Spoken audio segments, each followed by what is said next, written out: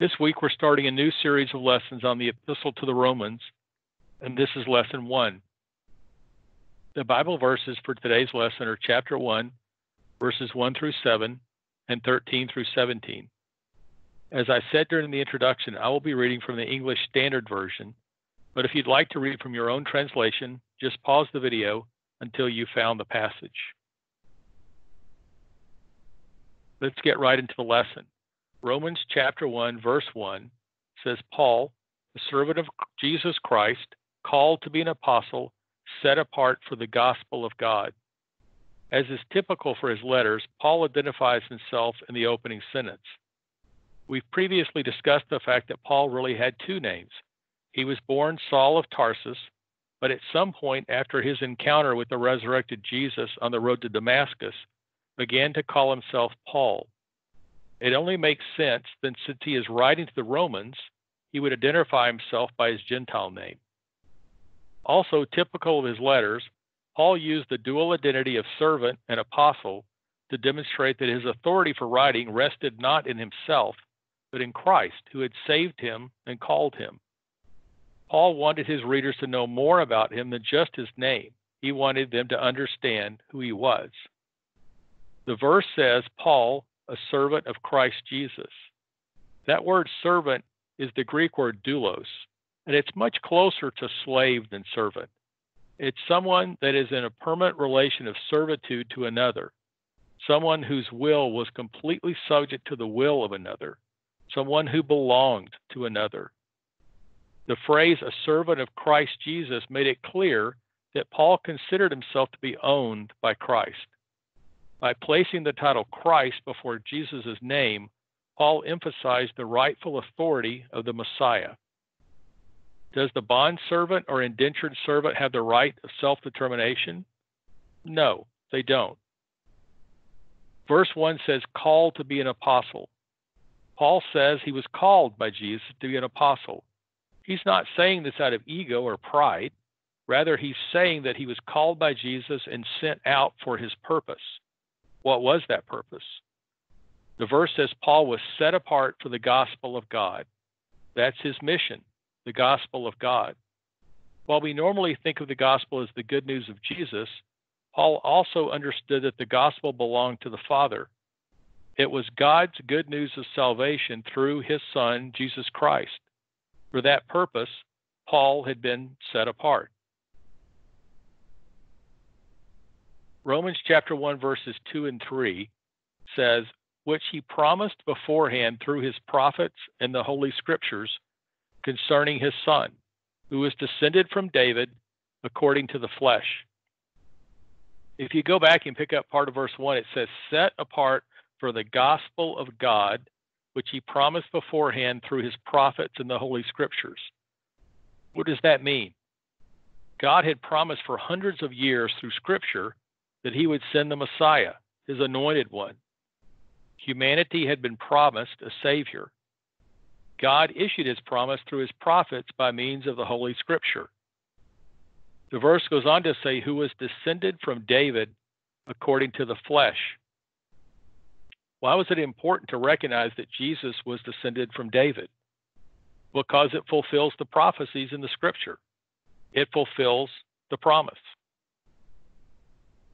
2 Samuel chapter 7 verses 12 and 13 says when your days are fulfilled and you lie down with your fathers I will raise up your offspring after you who shall come from your body and I will establish his kingdom. He shall build a house for my name and I will establish the throne of his kingdom forever. This is one of the Old Testament verses that's pointing to Jesus.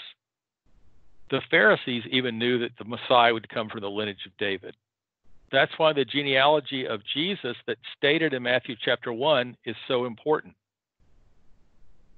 The verse says, according to the flesh. We've said that even before the incarnation of Jesus, God had given humanity, which was lost, the promise of a Savior. As God the Son, Jesus was eternal, existent, and equal with the Father.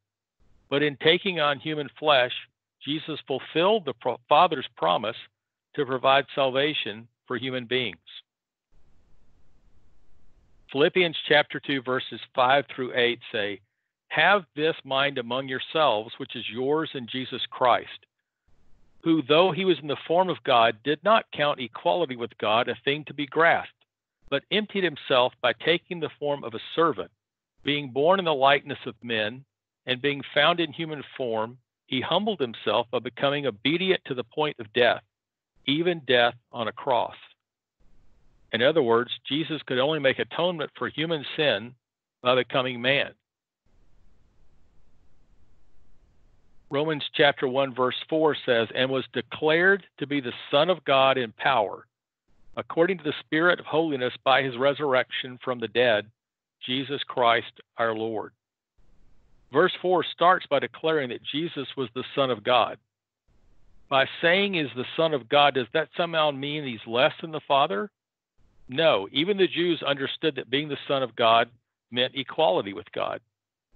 John chapter 5, verse 18 says, This was why the Jews were seeking all the more to kill him, because not only was he breaking the Sabbath, but he was even calling God and his own Father, making himself equal with God.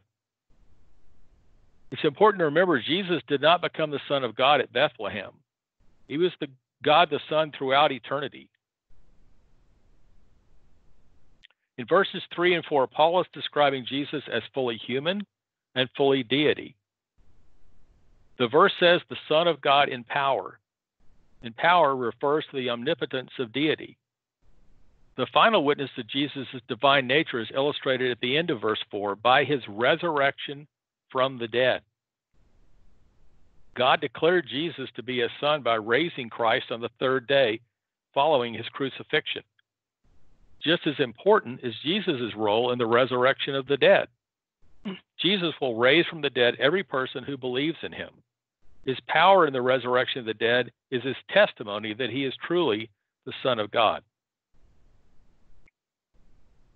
Romans chapter 1, verses 5 and 6 says, through whom we have received grace and apostleship to bring about the obedience of faith for the sake of his name among all the nations, including you who are called to belong to Jesus Christ.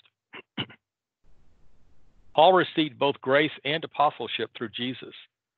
Did Paul earn these things? No, of course not. Paul didn't merit God's forgiveness just as none of us do. Only by the grace of Christ can anyone be reconciled to God. God's grace not only was vital to Paul's salvation, but also to his apostleship. Paul never claimed to be an apostle based on anything that he had accomplished. He accepted this role as a grace gift from God. Verse 5 tells us why Paul was called to be an apostle. He was to, quote, bring about the obedience of faith for the sake of his name. Paul used an interesting phrase to describe salvation the obedience of faith. Salvation does not come from the obedience of works, but rather obedience is the result of faith. Obedience belongs to faith and cannot be truly experienced aside from faith. Who was Paul supposed to bring to the obedience of faith? The verse says, all the nations. The Greek word translated nations doesn't carry the meaning that we would expect. Today, if you said all the nations, it would literally mean everyone, the entire world but the Greek word ethnos means all nations except for the Jews. Early in Paul's ministry, he preached primarily to the Jews, but they rejected him. When that happened, he moved on to his ultimate mission, the Gentiles. Verse 6 ends, including you who are called to belong to Jesus Christ. Paul wrote to both Jewish and Gentile Christians who made up the church at Rome. He emphasized that these Gentiles in the church were also called by Jesus Christ. Salvation was not the exclusive claim of Jewish Christians. Romans chapter 1 verse 7. To all those in Rome who are loved by God and called to be saints. Having provided greetings and offered the basis of his authority in the first 6 verses, in verse 7, Paul addresses the recipients of his letter. While aspects of his opening remarks focused on the Gentile believers, the epistle was intended for all the believers in Rome. The phrase to all those in Rome could be taken to mean everyone in the city, but he clarifies it with two qualifications that make it clear he is writing to the, the church in Rome. First, Paul says that the members of the Roman church were loved by God. The Christians in Rome had had up to this point experienced some serious opposition, but assaults by the Roman government had not yet peaked. It was going to get worse. The persecution had not yet forced the Jews to leave Rome en masse. Still, conditions were not good. The believers needed to be encouraged in the knowledge of God's love for them. Second, the people that Paul is writing to were called to be saints. The word saints comes from the same root as holy. Believers are to be known by their likeness to their Savior. His righteousness and holiness should be reflected in their lives. In introduction familiar to most of Paul's letters, he acknowledged his desire that the people experience both grace and peace. Both come from the Father and the Lord Jesus Christ. By God's grace through Christ, we are able to be at peace with Him. We also re- re- receive inner peace through Christ. Romans chapter 1, verse 13. I do not want you to be unaware, brothers, that I have often intended to come to you, but thus far have been prevented, in order that I may reap some harvest among you as well as amongst the rest of the Gentiles. Paul addresses the Roman believers as his brothers. Although he had yet to meet them personally, he wanted to convey affection and respect. Also, Paul didn't want them to think that he had overlooked them in his missionary journeys. He made sure they knew that he had often come, often intended to come to Rome, but he had been prevented. Paul didn't elaborate how he had been hindered, perhaps by the Holy Spirit. Paul reaffirms his desire to visit the Roman church. But Paul didn't just want to enjoy the fellowship of the Roman Christians. The verse says that I may reap some harvest among you as well as among the rest of the Gentiles. Paul wanted to reap some harvest among them.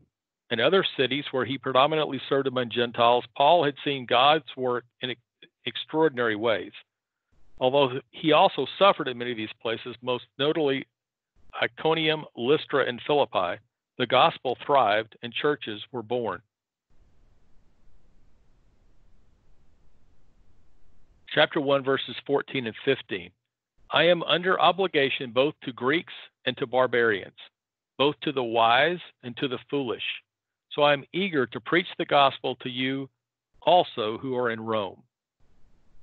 Because of his calling as an apostle, Paul was under an obligation to share the gospel with all people. This compelling motivation wasn't because of a sense of debt, but was his strong desire to fulfill his calling. Paul wanted to be faithful to the Lord who saved him and called him into the gospel ministry. Paul says that he's, quote, under obligation both to Greeks and to barbarians. Paul is writing his letter to the church at Rome, so at first glance, this doesn't seem to make any sense. Paul's phrase in the following one about the wise and foolish is probably something called an inclusio, a technique used by biblical writers in which two extremes are used to show that everything in between is also included. Using the term Greeks, Paul likely meant the well educated people who would be influenced by Greek culture and language. Using the term barbarians, Paul went to the complete other edge of the cultural spectrum.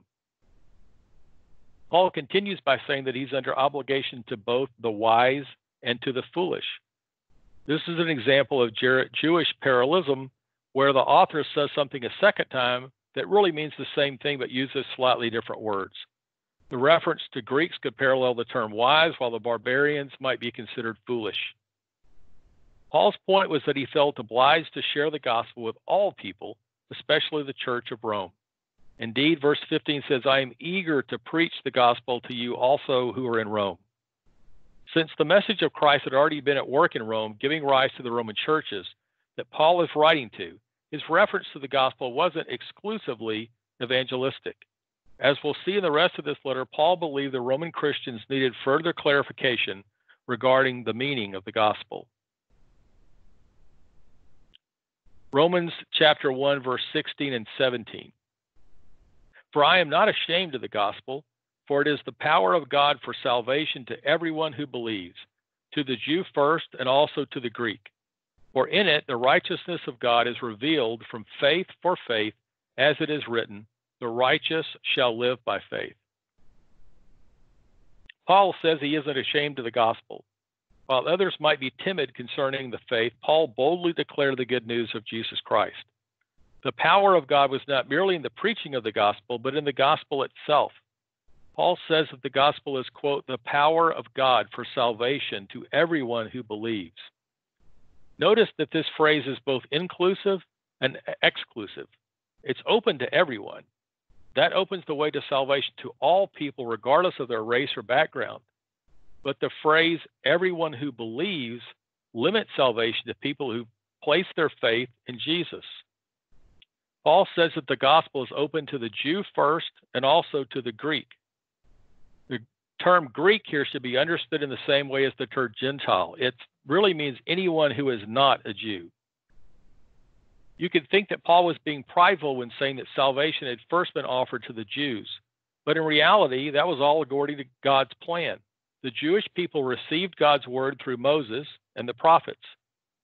God intended for Israel to be an early missionary nation carrying his name to all people, and that calling is passed on to us today. Knowing the truth of the gospel, we as believers should have the same boldness that comes from conviction. And like Paul, we should be able to stand before anyone and confidently share the good news of Jesus. Next week, we'll discuss lesson two. The main theme for that lesson is ignoring God leads to destruction. The study verses for next week's lesson are Romans chapter 1, verses 18 through 28, and verse 32. If you don't already have a study guide, they're available at the church. As I understand it, the church will be open during normal business hours if you'd like to go by and pick one up. As I leave you, I pray that you are all well, that God protects us and not only keeps us safe, but gives us wisdom, empathy, kindness, and most of all, peace during these very trying times. I hope to see you soon.